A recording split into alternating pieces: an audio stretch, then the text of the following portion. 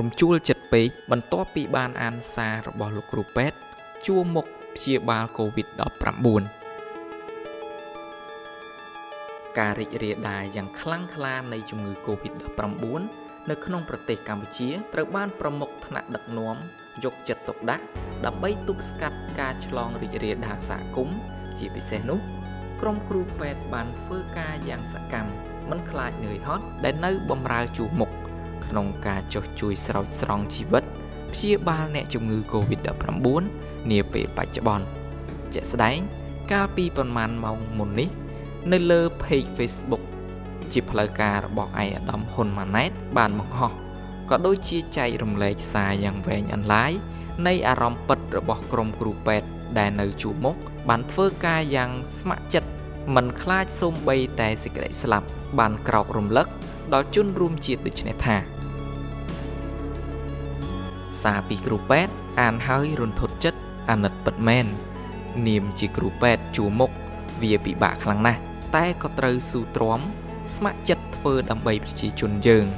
មិនមែនខ្ញុំមិនខ្លាច មិនមែនខ្ញុំមិនតក់ស្លុតក្នុងការចោះជួយស្រោចស្រង់ជីវិតព្យាបាលអ្នកជំងឺ Covid-19 នោះទេ ហើយមិនមែនខ្ញុំមានជីវិតអមតៈនោះដែរតែ នេះជាកាតព្វកិច្ចរបស់គ្រូពេទ្យ ខ្ញុំក៏មានជីវិតមួយ មានគ្រួសារមានឪពុកម្ដាយចាស់ជរា មានប្តីមានប្រពន្ធមានកូនរងចាំខ្ញុំដូចអ្នកដែរតែខ្ញុំត្រូវតែពុះពៀដើម្បីសេចក្តីសុខរបស់ប្រជាជនខ្ញុំ កាយចិត្តពិតជាមិនចង់ឲ្យអ្នកជំងឺណាម្នាក់បាត់បង់ជីវិតឡើយ ហើយក៏ប្រាថ្នានឹងព្យាបាលចង់ឲ្យពួកគាត់ឆាប់ជា ដើម្បីត្រឡប់ទៅផ្ទះជួបជុំគ្រួសារវិញទើប ខ្ញុំត្រូវលះបង់ខ្លួនឯងប្រឡូកជាមួយនឹងមេរោគដែលយើងមើលមិនឃើញនេះ ព្រោះខ្ញុំក៏សង្ឃឹមថានឹងបានឆាប់ចប់ត្រឡប់ទៅជួបជុំគ្រួសារខ្ញុំវិញដែររាល់ថ្ងៃរត់ទាំងយប់រត់ទាំងថ្ងៃឈរហាលថ្ងៃហាលខ្យល់ក្តៅរាប់ម៉ោងនៅមុខផ្ទះគេ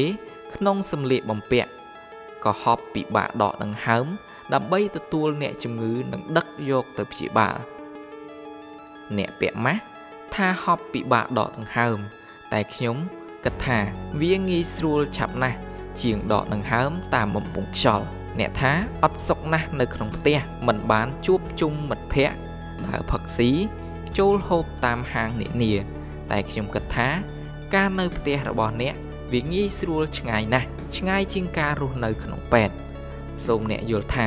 ជីវិតអ្នកមានតម្លៃនៅពេលជំងឺមិនទាន់មកដល់ តែពេលអ្នកឆ្លងជំងឺ អ្នកនឹងយល់ថាការជាសះស្បើយពីជំងឺពិតជាមានតម្លៃណាស់ដូច្នេះសូមអ្នករក្សាការអនុវត្តវិធានការ3ការពារនិង3គុំរបស់សម្ដេចតេជោឲ្យបានខ្ជាប់ខ្ជួនដើម្បីខ្លួនអ្នកនិងគ្រួសារអ្នកសហគមន៍យើង និងដើម្បីខ្ញុំជាគ្រូពេទ្យផងដែរខ្ញុំលះបង់គ្រួសារស្នាក់នៅមន្ទីរពេទ្យដើម្បីព្យាបាលអ្នកជំងឺហើយតើអ្នកអាចជួយខ្ញុំ ដើម្បីកុំឲ្យខ្លាយជាអ្នកជំងឺម្នាក់ទៀតបានទេអរគុណទុកជាមុននេះជាសារពិតរបស់ក្រុមគ្រូពេទ្យជួមមុខដែលបានព្យាបាលជំងឺ Covid-19